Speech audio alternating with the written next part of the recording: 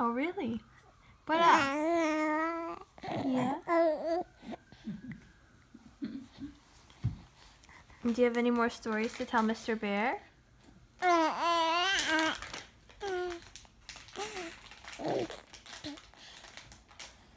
love you, Ava.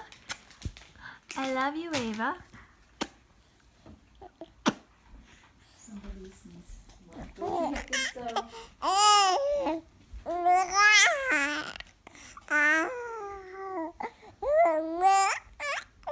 Mm-hmm.